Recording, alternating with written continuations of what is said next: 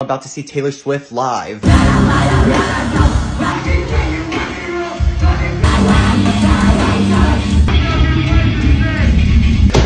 what the fuck was that?